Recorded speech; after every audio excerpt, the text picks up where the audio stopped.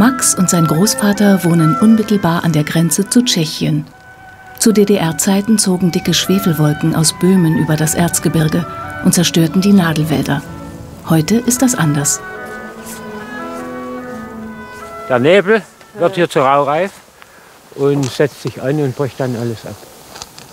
So haben wir unsere Last mit dem böhmischen Nebel. Das ist nicht so einfach. Erst hatten wir Schwefel, der Schwefel hat nachgelassen jetzt. Das Schwefel ist nicht mehr so, aber andere Chemie-Inhaltsstoffe sind schon bei noch drin. uns war drei Meter Spitze ungefähr bei der Lerche abgebrochen.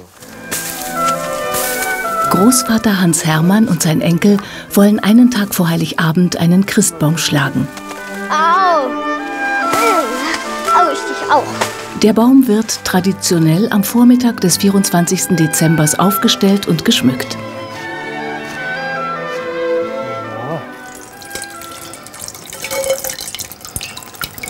Karin, die Mutter von Max, kocht eine Hagebuttensuppe. Die Früchte haben sechs Stunden auf kleiner Flamme geköchelt. Die Suppe ist Bestandteil des Neunerlei. So heißt das traditionelle Weihnachtsessen im Erzgebirge, bei dem neun verschiedene Speisen auf dem Tisch stehen. Jede hat eine ganz bestimmte Bedeutung. So auch die Hagebuttensuppe. Also es soll Kraft geben für das ganze Jahr und auch neues Blut schaffen. Also kräftigende Wirkung hat es für den ganzen Körper. Karins Mann Thilo ist Drechsler. Erst vor kurzem hat er mit einer eigenen Räuchermännchenproduktion begonnen. Langsam baut sich Thilo ein Vertriebssystem auf. Also ich liefere an den Großhandel die Trigeno in Seifen. Und die nimmt von allen hier aus der Umgebung Ware ab und verteilt die an die Einzelhändler. Und dann versuche ich noch selber einen Einzelhandel durch meine eigene Werbung aufmerksam zu machen, was ich mache.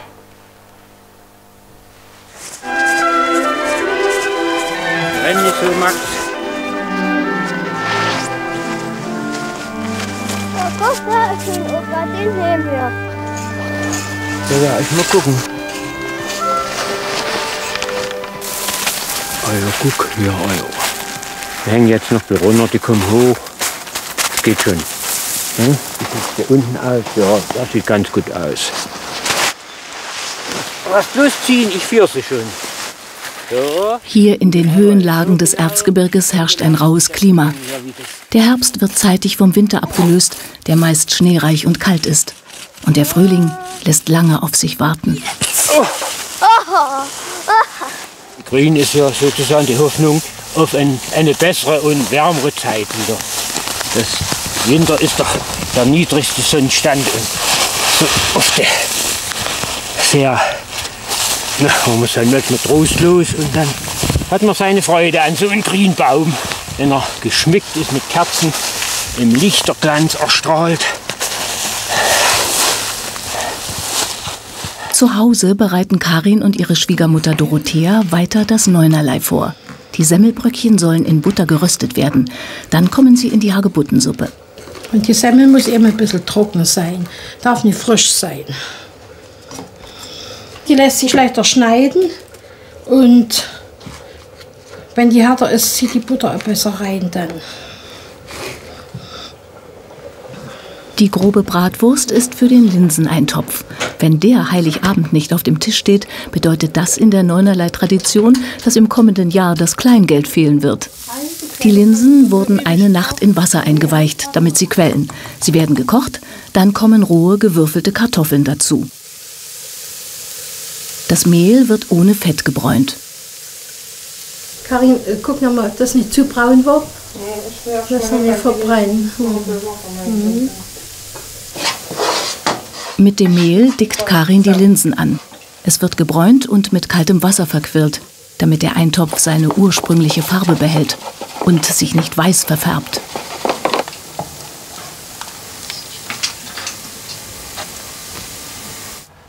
Bei Thilo ist einen Tag vor Heiligabend noch ein Eilauftrag aus Dresden eingegangen. 20 Räuchermännchen müssen bis zum nächsten Tag fertig sein. Also jetzt kommt noch Lack drauf, also Oberflächenbehandlung, dass die Räuchermänner optisch gut aussehen und ist auch ein gewisser Schutz vor Nässe. Zum Lackieren muss Thilo seine Räuchermännchen immer zu einem Freund ins Nachbardorf bringen. Die Anschaffung eines Lackiergerätes kann er sich momentan noch nicht leisten. Das Geschäft läuft erst langsam an.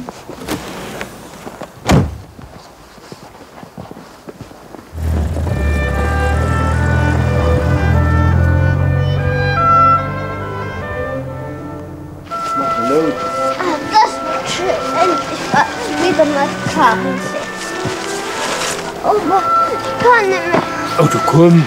Mann. Musst du alleine machen, oder was? Die Meizners sind eine Familie, die eng zusammenhält. Man hilft sich bei jeder Gelegenheit. Hallo. Hallo. Guck mal, was wir gebracht haben. Opa, was ist denn das? Ein Christbaum? Ja, für dich. Oh, schön. So, Max. Ist die ganz schön ausgestopft? Nein, das machen wir jetzt zusammen, Max. Die Tante von Max heißt Karin, wie seine Mutter. Sie bereitet den Gänsebraten für das Neunerlei vor. Das macht nichts. Warum kommt das in der Gans? Ja, damit die Gans dann besonders lecker schmeckt. Die Äpfel, die sind sehr saftig. Und das, der Saft zieht mit in die Gans hinein. Und da schmeckt die Gans dann sehr nach Frucht. Die Zwiebel hat ein bisschen einen scharfen Geschmack, dass die Gans gut nach Gewürzen und Zwiebel schmeckt. Die fallen sonst alle wieder raus. Gut, jetzt kannst du nein, du nicht hinter. Ist der Apfel? Jawohl. Und was ist das? Was ist das? Das ist Beifuß. Hm, den du das? manchmal sammelst im Sommer. Das ist ein Gewürz für Geflügel, vor allen Dingen auch für die Gans. Dann nehmen wir uns ein paar Zweige weg. Noch ein? Nee, reicht. Sonst wird die Gans dann doch zu scharf. Und dann legen wir die hier oben auf das Rost drauf mit den Nadeln, die wir reingestochen haben, nach unten. Ja? Gut, ich mache erst mal zu. Ja. Und jetzt kommt noch eine Wasserpfanne mit rein, dass die ganz schön Feuchtigkeit hat.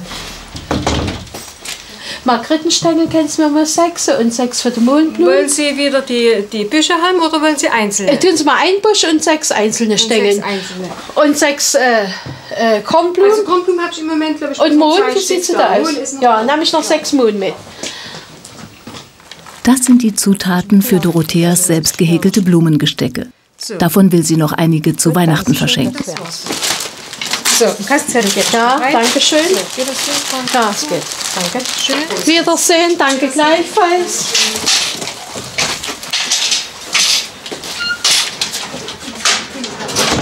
Im Erzgebirge gibt es traditionell viele kleine Betriebe für Kunsthandwerk.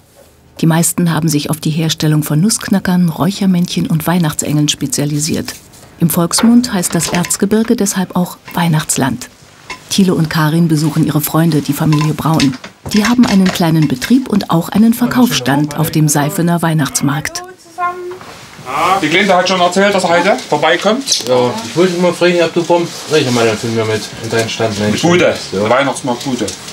Ja, können wir machen, kein Problem. Gut. Durch meinen Griff. Und wie läuft's so? Naja, es war durchwachsen. Das erste Wochenende haben wir gedacht, naja, haben wir es ja neu machen, wird sich lohnen, aber jetzt sind wir sehr zufrieden. Es war schön. Zweiter Advent waren viele Touristen da, dritten Advent war gut.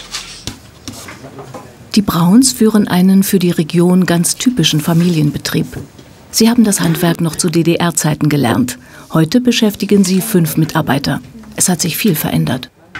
Die Herausforderung ist größer, na, aber es macht aber auch auf der anderen Seite mehr Spaß. Wenn man kann auch seine eigenen Ideen mit einbringen. Ja, wir sind ja auch ein kleiner Handwerksbetrieb, da machen wir das auch meistens selber. Wir haben keinen Designer oder so, der uns jetzt nur die fertigen Skizzen da liefert oder so, wo wir uns da dran halten könnten. Na, wir müssen das schon selber alles machen und wir machen es auch gerne. Also das macht sich schon aus. Dorothea bereitet das Abendessen vor. Es soll Rauchermod geben. Das ist ein einfaches Gericht, bei dem die gekochten, geriebenen Kartoffeln mit Quark verrührt und mit Salz und Kümmel abgeschmeckt werden.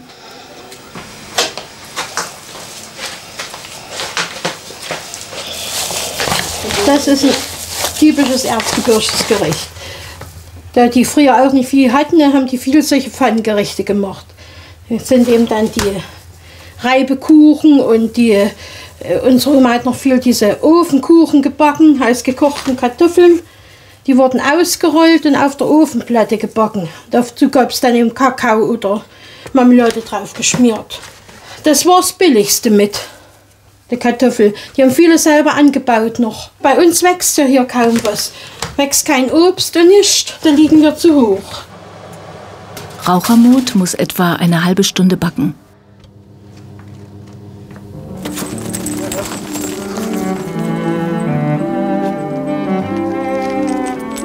Jeden Tag versorgt Hans Hermann zwei Ziegen, drei Schafe, acht Kaninchen, zwei Katzen und einen Hund.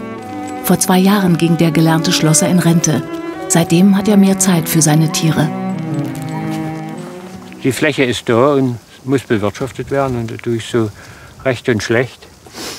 Bloß, wie gesagt, ein junges Schaf kostet 60 Mark und es zieht man das ganze Jahr auf und dann lässt man schlachten. Da will der Tierarzt 30 Mark und der Fleischer 30 Mark. Und also es lohnt sich nicht, es ist bloß wie Hobby. Also Hobby.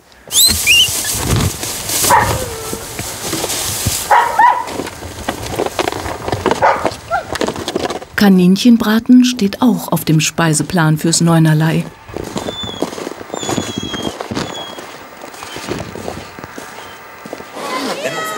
Jedes Jahr zur Adventszeit verwandelt sich das Spielzeugdorf Seifen in ein weihnachtliches Disneyland. An über 60 Buden kann alles gekauft werden, was das weihnachtlich gestimmte Herz begehrt. Eine eigene Bude zu mieten lohnt sich für die Meizners noch nicht.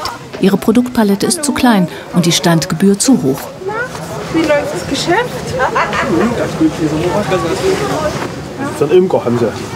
Da haben sie schön gewendet und geguckt. Ja. Die Meizners haben ihre Räuchermännchen bei den Brauns in Kommission gegeben. Einige sind schon verkauft worden. Ja, da kann man sich aufwärmen, das ist auch gut, ne? Höhepunkt des Seifener Weihnachtsmarktes ist in jedem Jahr die Bergparade. 450 Bergarbeiter aus ganz Deutschland ziehen in traditionellen Uniformen gemeinsam durch den Ort.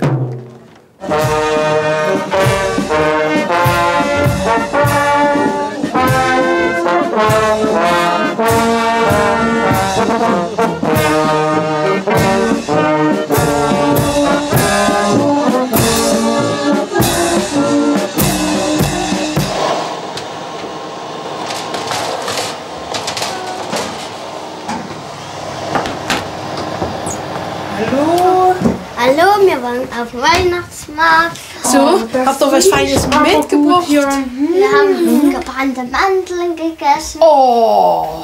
Guck Und ich, darf, und ich darf arbeiten hier. Und du isst gebrannte Mandeln. Hier ist was los, du. Das Rauchermod ist am besten, wenn es schön knusprig gebacken ist. In der Adventszeit sind die kurzen Tage mit Arbeit angefüllt. Trotzdem hat der Großvater Max versprochen, nach dem Essen noch eine Bergwerkstour mit ihm zu machen.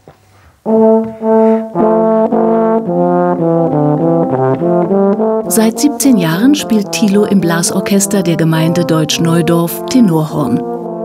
In der Weihnachtszeit sind fast täglich Auftritte oder Proben.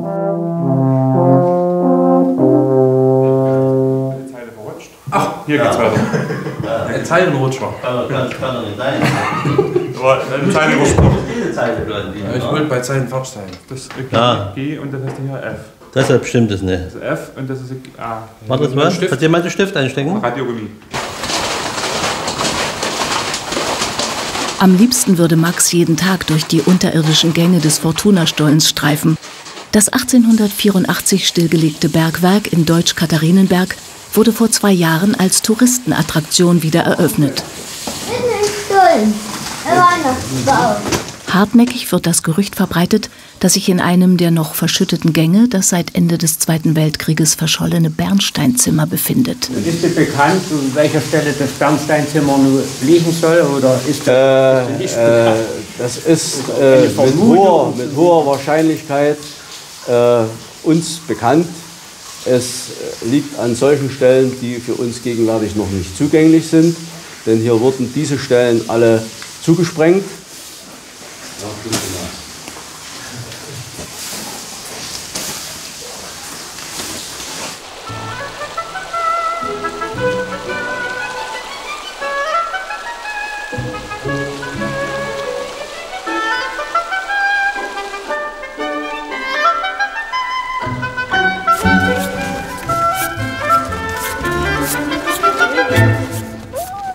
Max und Thilo wollen für das traditionelle Weihnachtsessen einen Karpfen angeln.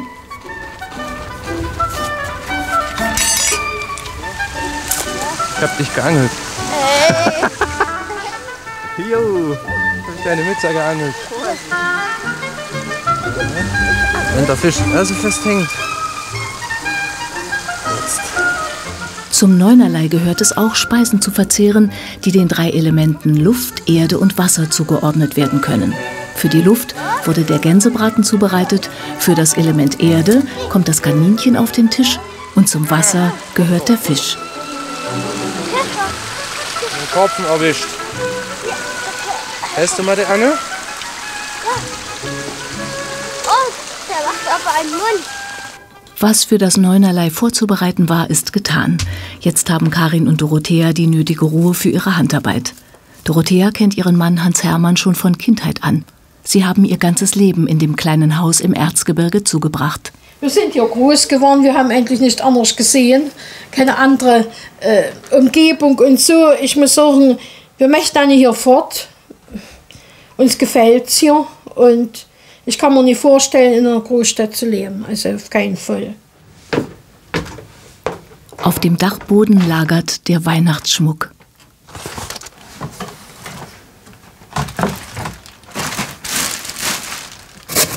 Ein unbedingtes Muss für jedes Neunerlei sind die grünen Klöße.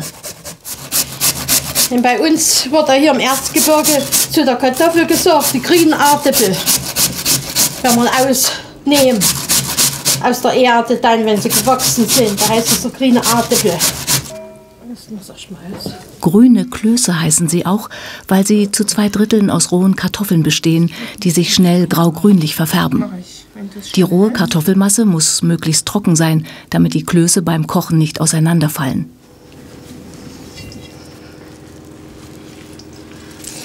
Früher haben wir das Wasser noch aufgehoben und hingestellt und dann tut sich unten das Kartoffelmehl absetzen.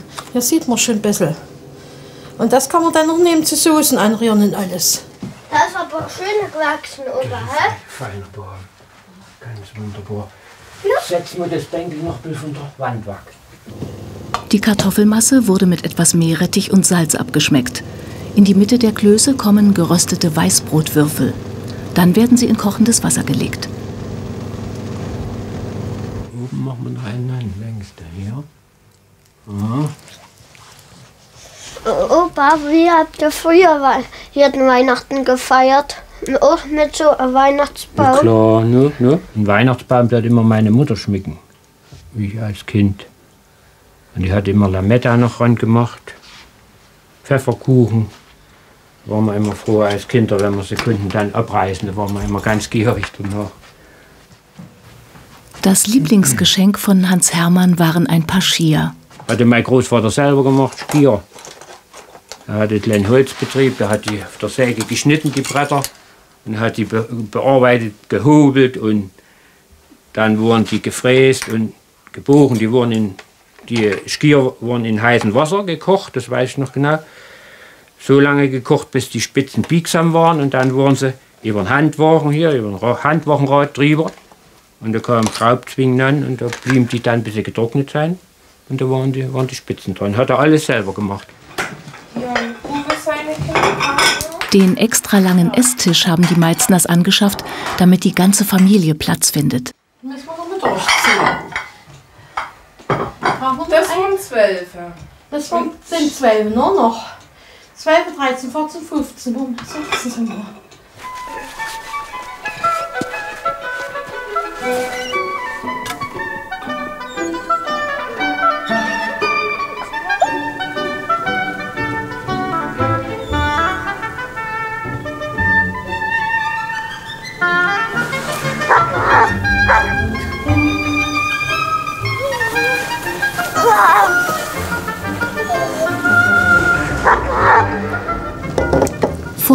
gibt es schon mal ein bisschen Linseneintopf.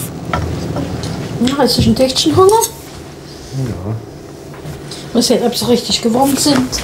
Normalerweise essen wir um 12. Nee, Ach, schon bei so. Wenn es mal ein bisschen was später gibt, mhm. nehmen wir gleich meckern. Mhm. Dieser Schneid reißt mir verrückt. Dann müssen wir der Kirche sein. Halb fünf, aber ich denke, wir müssen eher gehen heute. Und so weht es du. Hoffentlich kommen wir ran.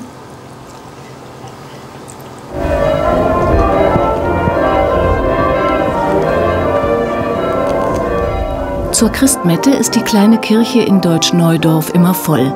Es müssen extra Stuhlreihen aufgestellt werden, damit alle einen Platz bekommen. Für das Blasorchester ist das der dritte und letzte Auftritt an diesem Tag.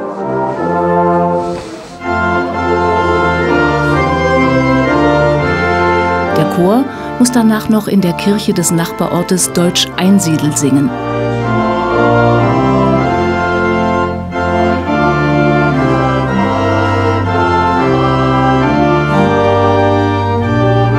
Tschüss überhaupt. Ein schönes Fest. Nächstes Mal spielst du mit. Tschüss. Die Vorbereitungen für das Neunerlei laufen auf Hochtouren. Alle 17 Familienmitglieder sind eingetroffen und helfen mit. Ohne den Herd nebenan in der kleinen Küche von Schwiegertochter Karin wäre es gar nicht möglich, alle neun Speisen gleichzeitig auf den Tisch zu bringen. Heute da ist drinnen. Die Haare-Suppe muss noch warm werden. Knödel müssen wir noch mal wärmen. Und Fisch ist fertig. Die Linsen sind auch fast fertig. Kann man dann auch abmachen. Naja, ich denke. Und die anderen Sachen sind bei Schwiegertochter, was dann noch warm gemacht werden muss. Ach, das waren schon schön irgendwie. Anstelle von Heidelbeerkompott gibt es bei den Meizners Semmelmilch zum Nachtisch. Hierfür wird trockenes Weißbrot mit Zimt und Zucker bestreut und in kalter Milch eingeweicht. Das ist der Abschluss vom Neunerlei. Das ist ein Zeichen für die Ärmlichkeit im Erzgebirge. Eigentlich wird dann der Topf rumgereicht und alle essen aus dem Topf. Dem Alter nach wird er begonnen. Also der Zusammenhalt in der Familie soll dadurch dargestellt werden. Alle neun Speisen stehen auf dem Tisch. Die Hagebuttensuppe, Bratwurst und Sauerkraut, der gebackene Karpfen, Selleriesalat, die Semmelmilch, der Kaninchenbraten, grüne Klöße, Gans und der Linseneintopf. Bei den großen Familienfeiern hat jeder seinen festen Platz. Auch das gehört zur Tradition. Ich wünsche, dass die Familie so zusammenhält wie bisher, dass nicht größere Streitigkeiten uns entzweit, denn das ist nicht selbstverständlich.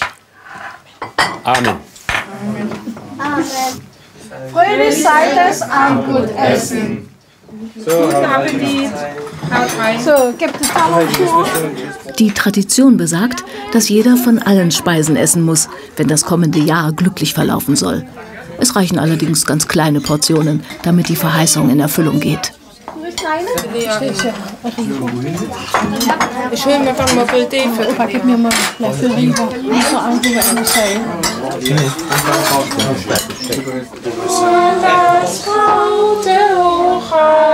Nach dem Neunerlei beginnt die Bescherung.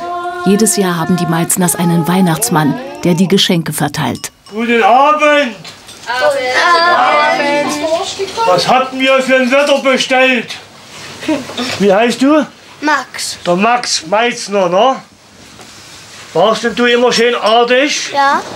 Ein Lied oder ein Gedicht? Ein Was hast Lied. du Feines gelernt? Ein Lied. Ein Lied.